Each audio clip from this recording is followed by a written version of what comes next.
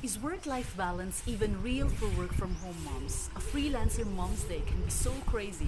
The line between work and professional life is so thin, can easily cross it without you noticing it. Now, try as we might to focus on one task at a time, we still find ourselves multitasking. And speaking of multitasking, after this, I'm gonna be breastfeeding my baby. She's waiting there. Anyway, so is work life balance even real for us? Hey moms, this is May Martin from Moms at Work, and today we'll talk about work life balance and harmony for freelancer moms. But before anything else, please continue to like and follow Moms at Work to get your regular dose of freelancing tips and tricks. Alright, now the answer to that question would be yes and no. Now, work life balance isn't realistic because we simply can't do it all. We just have to accept the fact that no matter how good we are at juggling motherhood and freelancing, we will never be able to do it all. More so, do it all at once. Now, we tend to lean towards the thing that matters to us the most. Now, honestly, I don't think that there is such a thing as uh, balance in the first place, although I have also read that somewhere.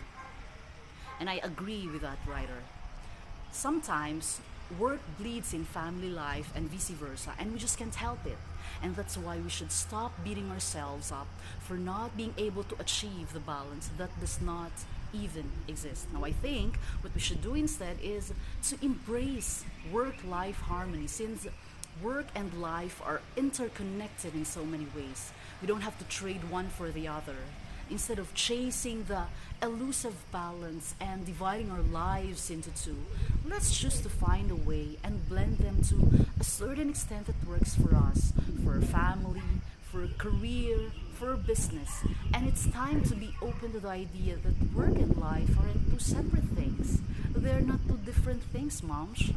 Drop that balancing act and let's not feel guilty for not being able to do it all for our kids or for our family or for stepping back when things get overwhelming, for multitasking when we need to, when we have to. Let's choose harmony over balance.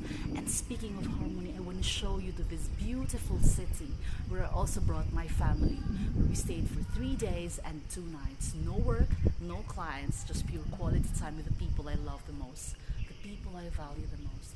Now, how about you? How do you find harmony? How do you find the balance that you need amidst the many challenges we face as freelancers, as mothers, as entrepreneurs. Comment below. In the meantime, I want to quickly show you how lovely this beautiful city is. Can you hear the sound of the chirping birds? Can you hear the sound of the cow? Obviously, I'm in the countryside, right? There you go.